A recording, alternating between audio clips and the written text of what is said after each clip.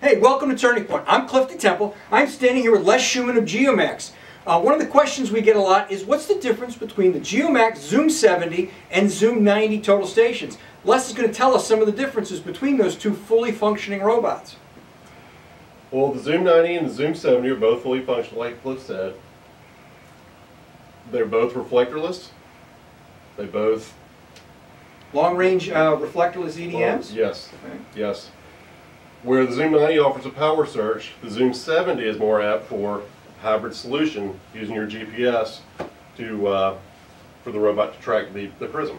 What the hybrid does is it allows you to run both the robot and GPS simultaneously. So when you walk behind a building uh, and the robot can no longer see the prism, we can go ahead and automatically start working with the, the uh, GPS and collecting those shots. Your data collector is going to tell you if you're working on strictly the GPS or strictly on the robot.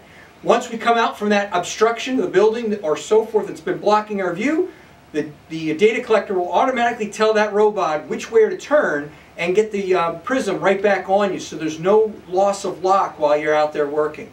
Both robots can work in a hybrid motion, but if you didn't want to use the GPS, having that power search feature is a really quick way to find that and restart tracking onto that prism. So we have both these robots and plenty of Geomax equipment in our showroom. We'd love to invite you anytime and uh, see the things that we have to offer.